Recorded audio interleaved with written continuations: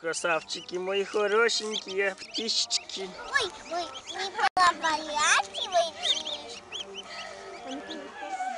Когда нам показали ребенка, и он пришел, обнял жену, Вероника, три годика ей было, сказала, мама. Потом пришла, обняла меня за шею и не отпускает. Давай, сделай колесо. Ох, молодец.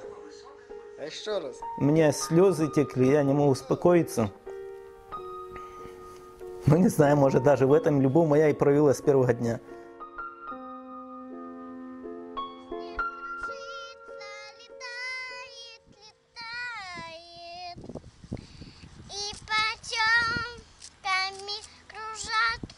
Вероника воспитывалась восемь с половиной лет. Она никого не знает, кроме нас. Больше родных никаких нету, кроме нас. Для тебя. Все, туши.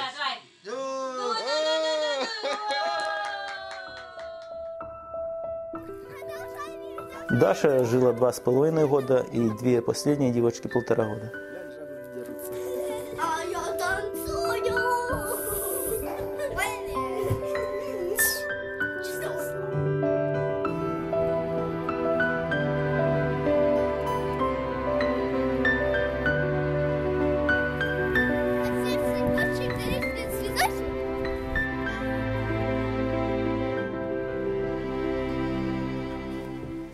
Вот в этой, в этой комнате жили наши девочки. Здесь на этой кровати спали две Вероники, Гуренчик Вероника и Лукашевич Вероника.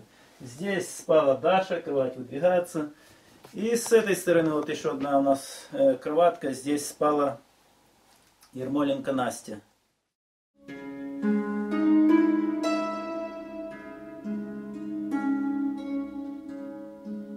Дети уже пошли в школу.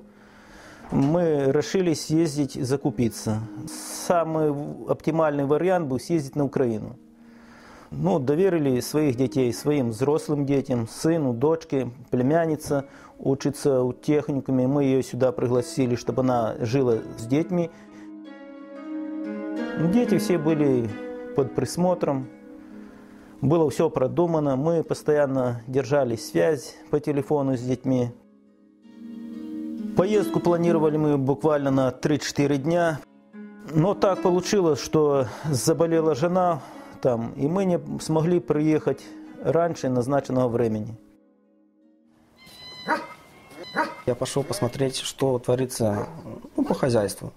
Когда я пришел, дверь уже была открыта, в доме была куча народу, дети плачут, тут милиционер стоит, э, с отдела образования. Говорит, мы забираем ваших детей, потому что у вас нету сейчас на данный момент родителей. Почему вы забираете? Все, вроде бы все в порядке, они же досмотрены, присмотрим. Я вот за ними смотрю, Утром там за ними сестра моя вторая смотрит.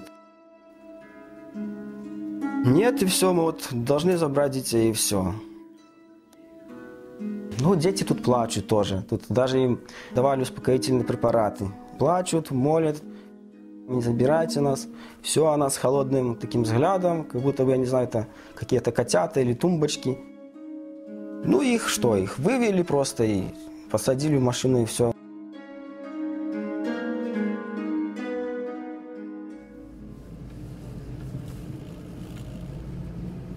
Когда мы вернулись, мы с женой поехали в отдел образования.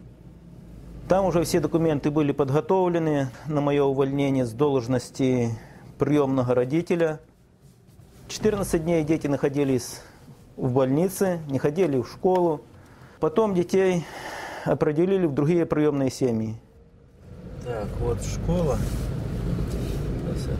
Если раньше я мог свободно заходить в школу как э, приемный родитель, детей навещать, то сейчас мне запрещает заходить в школу.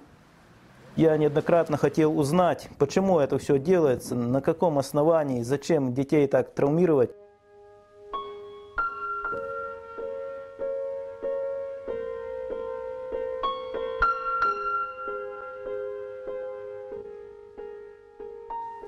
Это это же тоже жестоко так забрать детей и не давать мне общаться. Я что, плохо что-то им желаю?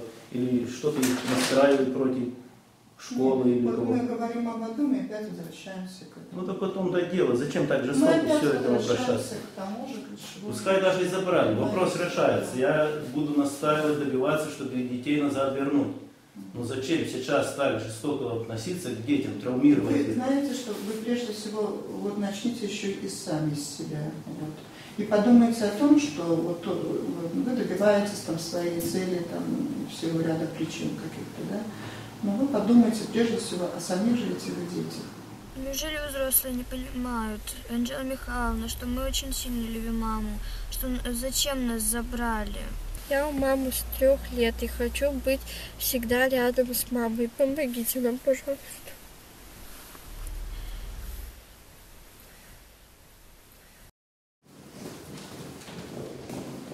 Ну, у меня есть мои друзья, у которых есть дочка, которая с детского садика дружит с моей Вероникой.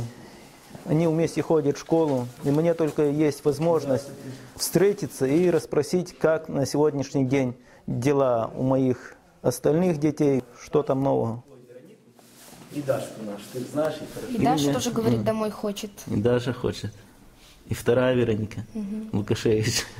Все хотят домой. Скажешь им привет от нас, что мы тоже их любим, ждем. С- Может, скоро суды все пройдут, и мы их заберем назад. Я уехал для детей купить им вещи, выполняя свои обязанности. И я не считаю это прогулом и отстаиваю свою позицию, что меня уволили незаконно. Может быть, все-таки в интересах детей и не стоит их. Может, несколько лет пройдет, и вы начнете общаться, они изъявят желание с вами быть. Но сегодня же в той сложившейся ситуации, мне кажется, что это обостряется психологическое, вот это внутреннее состояние детей.